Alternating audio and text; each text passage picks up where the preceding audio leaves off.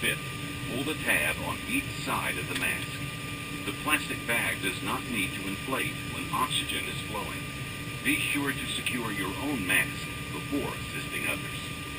As a reminder, smoking is not permitted in any area of the aircraft, including the lavatory. It serves as an approved flotation device. To remove it, pull up and take it with you to the nearest usable exit. After exiting the aircraft, place your arms through the straps and then hug the cushion to your chest.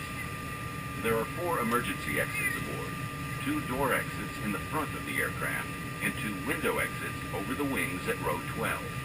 Take a moment to locate the exit nearest you, keeping in mind that the closest usable exit may be located behind you. If there is a loss of this aircraft's electrical power, low-level emergency